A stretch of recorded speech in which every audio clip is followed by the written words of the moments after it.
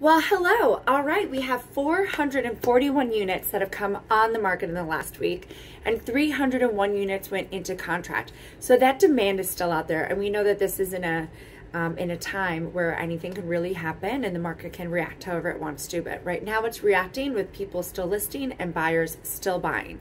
So if you are selling listen, there's demand out there, right? We have about 4,200 units that are in contract currently in Manhattan. And if you are a buyer, there's only about 5,000 units on the market. I know that may sound like a lot, but when you put it over every neighborhood, every size, and every price point, it's really not. So get out there before it heats up and your competition does. I am Erin Wheelock, your numbers girl with the Wheelock team at Keller Williams, and I will see you next week.